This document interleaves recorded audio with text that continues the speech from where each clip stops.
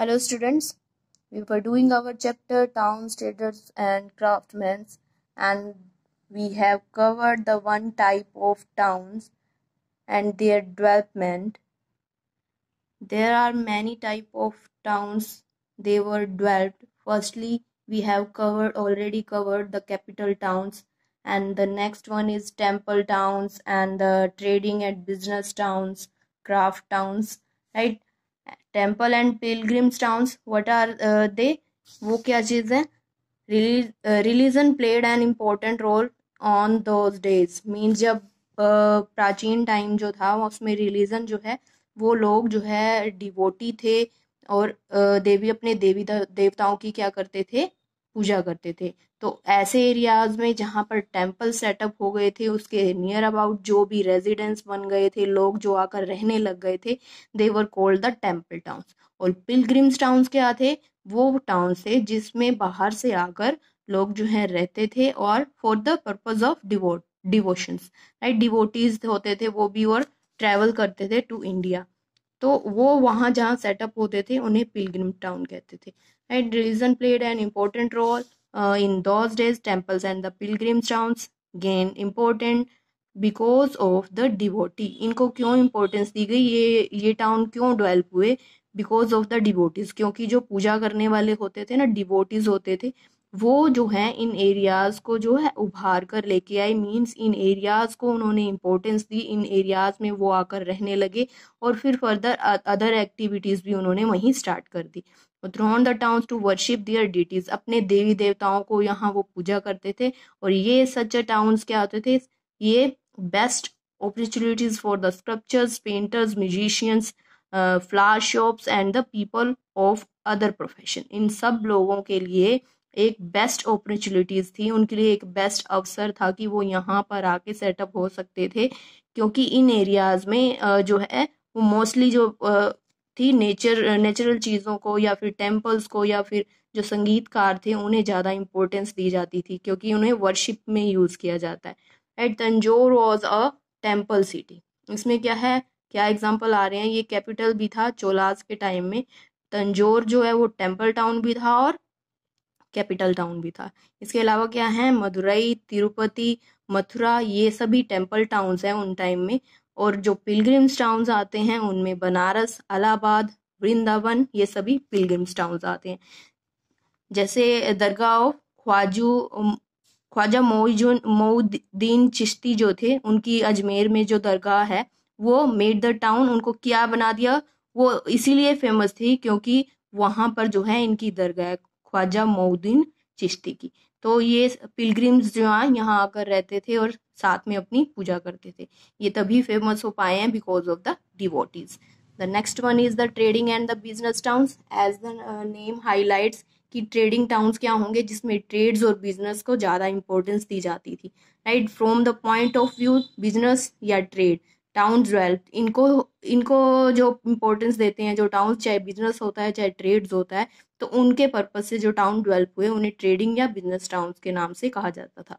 If they were produce a raw products अगर वो raw products produce करते हैं तो उन्हें अदर सिटीज़ में अदर कंट्रीज़ में पोर्ट से जो पोर्ट क्या होती हैं, जो बंदरगाह होती हैं, जहाँ से दूसरे देशों को सामान आया जाता है या लेके जाया जाता है राइट इनके प्रेजेंस ऑफ़ पोर्ट्स हैं। इंडिया में कई पोर्ट्स उस टाइम भी थे। और मेजर ट्रेडिंग रूट्स थे, जिसके थ्रू है जो फॉरेन लैंड की ओर भी जो है ट्रेड किया जाता था। At the time towns develop because of the craft ships of master craftsman तो यहाँ इंडिया में क्या था? क्राफ्ट्स जो थे, वो बहुत अच्छे क्वालिटी के होते थे यूनिक होते थे, जिनकी डिमांड जो है, वो अदर कंट्रीज़ में ज़्यादा थी। तो ये क्या होता था? कुछ लोग इनको इनकी क्राफ्ट मैन जो है वो उनसे अपनी जो है कला सीखने के लिए आते थे, आर्ट सीखने के लिए आते थे और कुछ यहाँ के जो क्राफ्ट चीज़ें थी, क्राफ्ट थिंग्स थी, वो फॉरेन जाती थी। राइट? तो इससे क्या होता था? ट्रेड होना स्टार्ट हो गया था, जिससे यहाँ आने वालों को क्या सीखना, वो क्या सीखते थे? वो विविंग और एम्ब्रॉयडरी सीखते थे वेरियस टाइप ऑफ़ स्किल्स जो थी, वो यहाँ से सीख कर जाते थे। राइट अहमदाबाद जो गुजरात में आज फ़ेमस है for the cotton and silk ये उस टाइम भी फ़ेमस था for the cotton and silk and the whereas Hampi Hampi and Hampi Surat and Masulipatnam were important trade centre और इन एरिया से ज़्यादातर ट्रेड ज़्यादातर व्यापार जो है किया जाता था। यहाँ पर टू टाइप्स के कमर्शियल टाउन्स थे इनलैंड और ट्रेडिंग टाउन्स यानी पोर्ट टाउन्स यानी इनलैंड्स ट्रेडिंग टाउन्स होते थे जो लैंड पे, यानी कोस्टल एरियाज़ पे नहीं होते थे। पोर्ट टाउन्स क्या होते थे? जो बंदरगाहें होती थी, जो कोस्टल एरियाज़ में सेटअप किए गए थे। The next one is the craft towns What were the craft towns? Many towns developed due to their specialised craft कई टाउन जो डेवलप हुए थे, उनके स्पेशलाइजेशन की वजह से, क्योंकि वो यूनिक क्राफ्ट जो बनाते थे kings and nobles were needed luxury goods जो लग्जरी चीज़ें बनाई जाती थी, जो क्राफ्ट बहुत यूनिक होते थे, वो किंग्स या नोबल्स की नीड के लिए बनाया जाता था और उनको बनाने के लिए बनाए गए जो टाउन्स थे, उनको क्राफ्ट में क्राफ्ट टाउन्स कहते थे। तो उन्हें अपने राज दरबार में जो नीड होती थी लग्जरियस गुड्स की and encourage the growth of craft towns इसीलिए उन्होंने, जो किंग्स और नोबल्स थे, उन्होंने इन टाउन्स को डेवलप करवाया था। The capital city of the kingdom of Golconda, Hyderabad was famous for the gem cutting and the jewels और ये गोलकोंडा जो किंगडम है, वो कैपिटल सिटी जो है, वो फ़ेमस था राइट right? किस चीज़ के लिए फ़ेमस था? ज्वेलरी के लिए और कट जैम कटिंग के लिए फ़ेमस था, जो हैदराबाद में है. And the Bidar was the famous for its Bidri work right important business communities क्या थी? इनमें जो है वो क्राफ्टमैन और ट्रेडर्स आते थे जो किसी भी कंट्री किसी भी एरिया टेरिटरीज को जो है डेवलप करते थे, किसी भी टाउन को डेवलप करते थे। They were the mainly two type of traders right big traders थे and small traders right big traders कौन होते थे? रिच होते थे ऑन शिप होती थी बोट भी उनकी खुद की होती थी, जिससे वो अब्रोड तक भी ट्रेवल करते थे अब्रोड तक भी ट्रेड किया करते थे. बट स्मॉल ट्रेडर्स क्या होते थे? वो जो डेली पर्पज की जो चीज़ें होती थी प्रोडक्ट्स होते थे यूटिलिटी के तो उनका ही व्यापार करते थे. लाइक स्पाइसेस हो गए क्लोथ हो गए एंड द क्राफ्ट्स हो गए.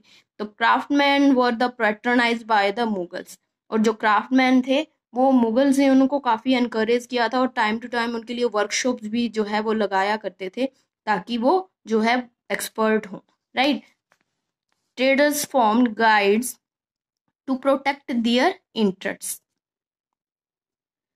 trader जो थे, व्यापारी जो थे, वो गुड्स मीन्स होता है कि अपने ही एक ग्रुप में रहते थे जो बहुत एक्सपर्ट हुआ करते थे एंड ये क्या करते थे, अपने इंटरेस्ट को बचाने के लिए ऐसा करते थे। अगर वो एज ए ग्रुप में मेंबर्स में जाते थे तो उनके लिए एज ए प्रोटेक्शंस होती थी स्ट्रीमलाइन पॉलिसीज़ ताकि रूल रेगुलेशन जो हैं, वो अप्लाई हों and the regulations for the benefit to all और जो रेगुलेशंस हैं, जो रूल रेगुलेशन है, वो सबको ही उनसे बेनिफिट हो। Right right? ट्रेडर्स जो थे, वो ट्रैवल करते थे इन द लार्ज कारावंस में। राइट ग्रुप में जो है, एक जगह से दूसरी जगह ट्रेवल करते थे like Banjaras right Banjaras were the trading group होते थे, जो किन चीज़ों का ट्रेड करते थे? They were trading like food stuffs का जो ट्रेड करा करते थे. They generally move from place to place और वो इन चीज़ों का स्पाइसेस का ट्रेड करने के लिए एक जगह से दूसरी जगह की ओर ट्रैवल करते थे. स्पाइसेस और textiles were the most important items of the trades और उस टाइम में क्या चीज़ें ज़्यादा ट्रेड की जाती थी? वो स्पाइसेस थी और टेक्सटाइल्स जो इंडस्ट्रीज़ में यूज़ किए जाते हैं, वो चीज़ों का ट्रेड करते थे। These were exported to the traders on the port of the Red Sea और ये किस साइड किन ट्रेडर्स को जो है एक्सपोर्ट कर दिया जाता था? जो रेड सी की साइड है, जो आपके अरेबियन सी वाली साइड जो अरेबियन सी जो आपके ईस्ट वेस्ट साइड इंडिया के आता है राइट तो वहाँ से जो है अरेबियन कंट्रीज़ को रेड सी जो पोर्ट है, वहाँ इनको एक्सपोर्ट कर दिया जाता है। इसके अलावा पर्सियन गल्फ में and the South East Asia like China वाली जो साइड आती हैं, वहाँ पर भी इनका ट्रेड जो है, इन चीज़ों का किया जाता था। राइट इंपॉर्टेंट टाउन्स उस टाइम में कौन कौन से? दैट वॉज़ द हम्पी अभी हमने जो नेम किया है that was the Hampi and the Surat Ahmedabad, जहाँ पर कॉटन टेक्सटाइल्स इंडस्ट्रीज़ जो हैं, वो सेटअप की गई थी। All these important towns we will learn in the next class. Thank you students. Have a nice day and take care.